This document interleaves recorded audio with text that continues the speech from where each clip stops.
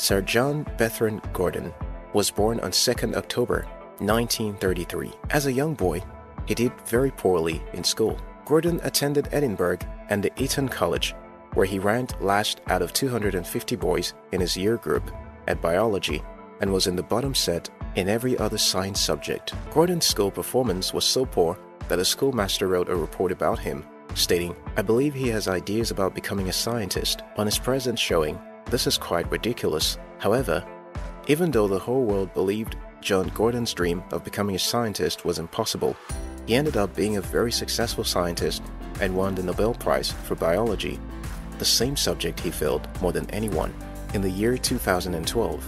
You see, Leonardo DiCaprio said, The only thing standing between you and your goal is the story you keep telling yourself as to why you can't achieve it. Like John Bertrand Gurdon, there will always be many people who don't believe in you. Like John Bertrand Gurdon, there will be a time in your life when certain people will write you off. Like John Bertrand Gurdon, a time will come in your life when you will look at yourself and see yourself at the bottom. What most people do in a time like this is to see those obstacles or opinions of others as a reason why they can never achieve their dreams. Listen to me, young people. It doesn't matter what's going on around you. The only single thing that matters is what you keep telling yourself about such things. The only thing standing between you and your goal is the story you keep telling yourself as to why you can't achieve it. In the year 2005, the National Science Foundation published an article summarizing research on human thoughts per day. It was found that the average person has about 12,000 to 60,000 thoughts per day. Of those thousands of thoughts, 80% were negative and 95% were the same repetitive thoughts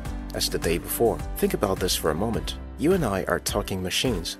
Literally, we talk every second of the day, but we do most of our talking to ourselves through our thoughts. While talking to ourselves isn't a bad thing, 80% of what we say to ourselves is negative, and we repeat this day after day, every day of our lives. That's why an average man is screwed. You're not screwed by the economy or by poverty. You're not screwed by the government or your disabilities. You're screwed by your thoughts. It's your daily, constant thoughts that make you believe that you can't achieve your goals. It's your daily, constant thoughts that make you believe that you can't be rich in your country. It's your daily negative thoughts, repeated day after day, that makes you believe that all the opportunities in the world have been monopolized by some people. The only thing standing between you and your goal is the story you keep telling yourself as to why you can't achieve it. Proverbs 23 7 says, For as a man thinketh in his heart, so is he. The only thing standing between you and your goal is the story you keep telling yourself as to why you can't achieve it. Every single thing I have achieved with my life, there are always people who told me a million reasons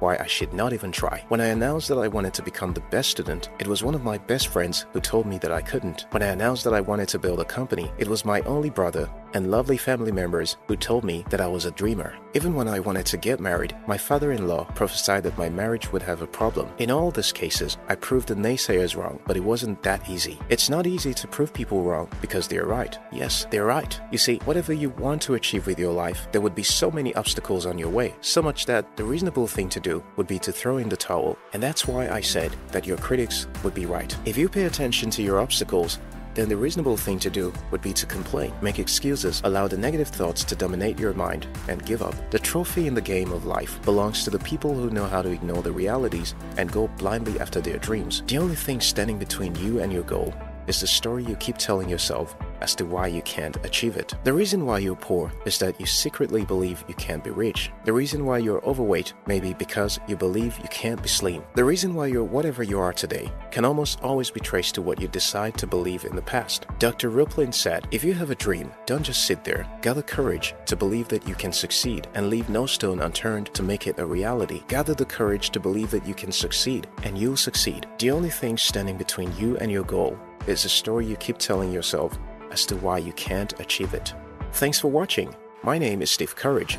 I'm a Nigerian entrepreneur, and you can join my channel right here on the screen or at the description below. I love you.